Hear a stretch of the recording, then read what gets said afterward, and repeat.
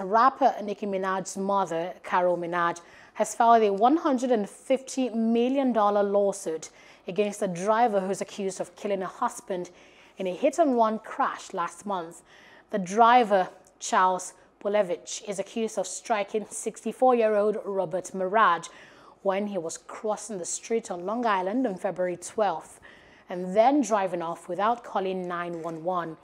Maraj died at a hospital the next day, and Mr. Polevich was later arrested on February 17th on charges of leaving the scene of an incident and tampering with physical evidence.